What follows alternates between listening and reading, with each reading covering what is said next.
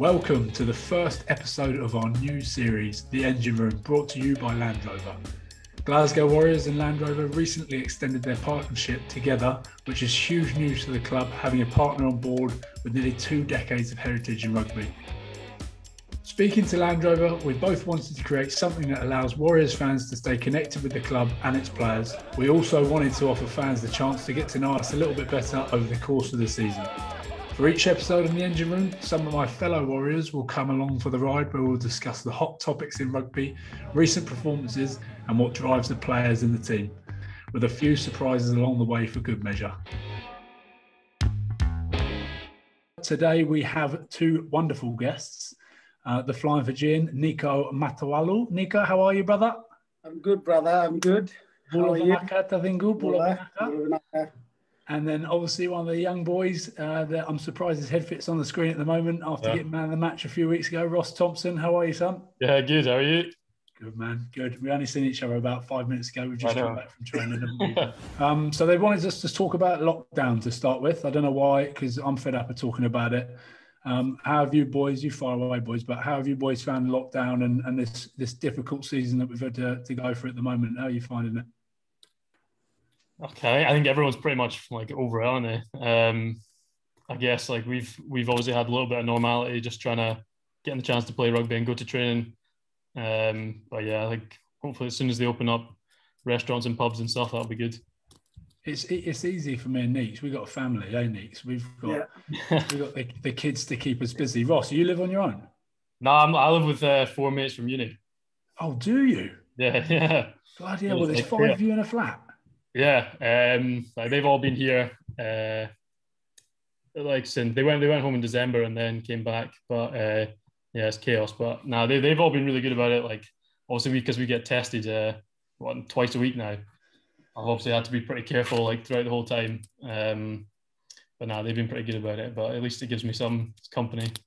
Ross, we've seen Jamie Dobie get called up for you know he's actually now yeah. in there not just as a training reserve, but he's in the in the full squad now, which is which is brilliant to see. Um, you're close to Jamie, aren't you? And you know, I suppose that gives you a lot of hope seeing a young guy like that do well at the club and and then push on to Scotland stuff. Yeah, like, oh yeah, I'm good mates with him, and he's like he's so good, isn't like he's obviously he's bloody young and um, came straight out of school to play pro rugby, which is pretty impressive. And to get called like uh, yeah, because he was he was training with him, he was just invited to train, wasn't he? And then yeah. to be called up after uh, the Ulster game, which he was which he was really good in as well. Um, no, he definitely deserves it, I reckon. And hopefully he gets maybe gets a chance to play some point soon. Yeah, too right. I want to see him in a Scotland shirt. Um, obviously, you know, like we said there, Ross, you know, this this time with players going away gives the younger guys an opportunity, and you like to see yourself and, and Jamie have really stepped up. But you look at the likes of Ollie, Rufus, um, and then Cole Forbes, three guys that have recently re- uh, signed uh, professional contracts. Um, exciting time for those. Just a little bit on Cole Forbes. Nicks, you might know a little bit about him being that side of the world, but this Cole Forbes um, looks sharp in training, man. He's a typical Kiwi, just wants to smash everyone. Um, with a bag, he's outstanding. So I'm looking to see him without a bag. Um, I can just see him. He's like really solid, to be fair. Like uh, the Maori, like blood on him. I can see him. He's like tough, uh, fast too. I reckon. Obviously, we've had um, a lot of players joining us on not just loan, but players coming in and out. Um, you know, with having so many players away to Scotland and then COVID and all this sort of stuff. Um, one of the rituals at the club, um, Nicks, you can describe this because I'm the one that actually ends up doing it. But what happens to a player when they when they first get to the club, Nicks? In the meeting, first they have to like uh, stand up in front of the the players and then stand up on the on the chair and uh, explain himself where he come from uh, how many brothers uh, how many sister uh, what his um, uh, talent. And after that then chuck it to the boys to ask question for him. Who have we had recently it's been a little bit interesting it's been a bit different um, I was quite surprised at Rufus. He's a pretty clever person, isn't he? He's a clever bloke. What does he can speak? Yeah, Mandarin? no, Spanish. He's doing Spanish at uni. Um, that's Strathclyde. Uh, so Did I just make Mandarin up? Yeah, I don't know where you got Mandarin from. I'm pretty sure he can speak yeah. Mandarin. Nah, he does. Uh, he does You were Spanish. speaking Spanish, and I thought it was Mandarin. Yeah, yeah. Is he, he speaks with uh, Enrique all the time, like in Spanish. Oh. They've given us a few ones here. Ross, Finn Russell to be the Lions' number 10. Yes, yeah, gotta be, gotta be. Complete- Completely agree with that. Yeah. If it's not you, mate, it'll be Finn. Don't worry. Nah, it's gotta be Finn. That's what you were telling me the other day that you were What, expecting. the was call. I? Yeah. No chance. Cut that. So I said cut to you, bit, mate, wait bit. for the call from Gregor before you go for Lions. And you said, no, Will, I reckon that'll be me straight into Yeah. Lions. right, Niko, we're going to play. Okay, here's another one. You have to name players that have played for Glasgow and Edinburgh. Okay. And you're going to go Ross first, then Niko, and it's the first Yeah. one unable to do it. Okay. Like, for example, here I go Fraser Brown, Ross. Uh, Sean Kennedy.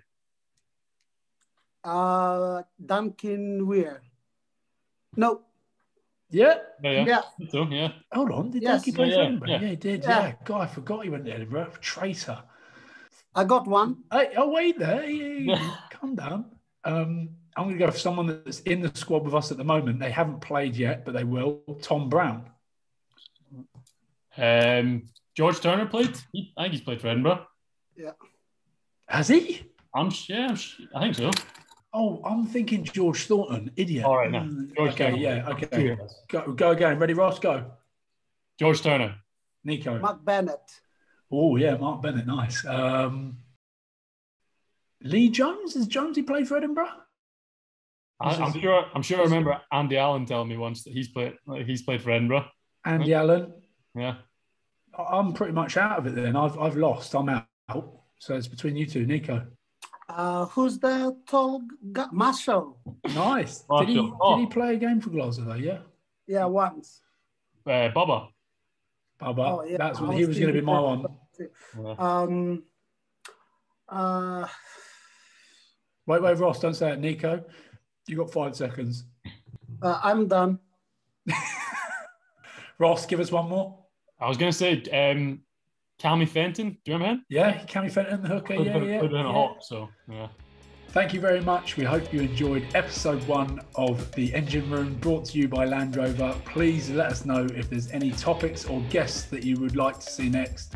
Thank you very much to our guests, Ross Thompson and Niko Matawalu, and a massive thank you to our sponsor of the show, Land Rover. And again, thank you for your continued support. Goodbye, everybody. See you later, boys. All right. See you later. Bye. All right.